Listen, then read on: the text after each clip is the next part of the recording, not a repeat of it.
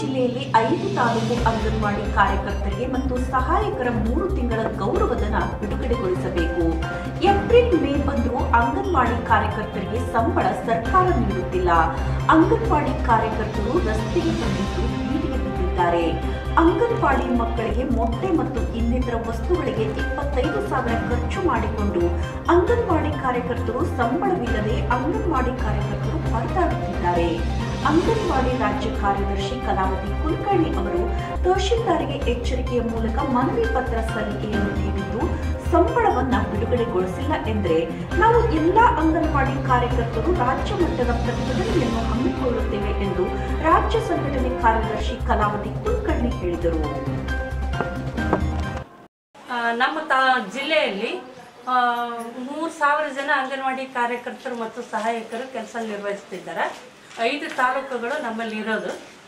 ಹಾಗಾಗಿ ಇವತ್ತು ನಮಗೇನಂತಂದ್ರೆ ಪ್ರತಿ ವರ್ಷ ನಮ್ಗೆ ಬಜೆಟ್ ಏಪ್ರಿಲ್ದೊಳಗೆ ತೊಂದರೆ ಆಗ್ತಿತ್ತು.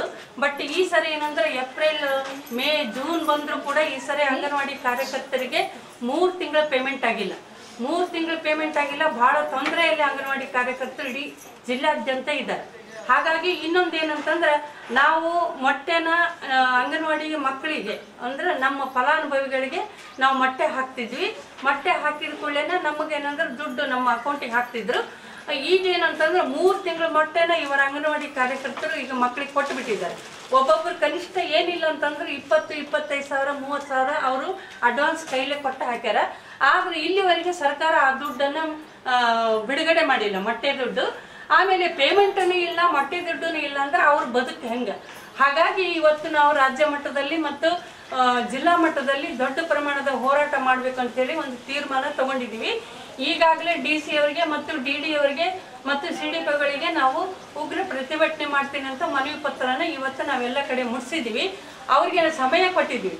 ಎಂಟು ದಿವಸದೊಳಗೆ ನೀವೇನಾದರೂ ಈ ಎಲ್ಲ ನಮ್ಮ ಸ್ಥಳೀಯ ಬೇಡಿಕೆಗಳಿಗೆ ತಾವು ಸ್ಪಂದಿಸಿದ್ರೆ ನಾವು ಹೋರಾಟ ಮಾಡಲ್ಲ. ಇಲ್ಲ ಅಂತಂದ್ರೆ ನಾವು ಬೀದಿಗಿಳಿತೀವಿ ಮೂರು ಸಾವಿರ ಜನ ಅಂತೇಳಿ ಮನವಿ ಪತ್ರನ ಕೊಟ್ಟಿದ್ದೀವಿ.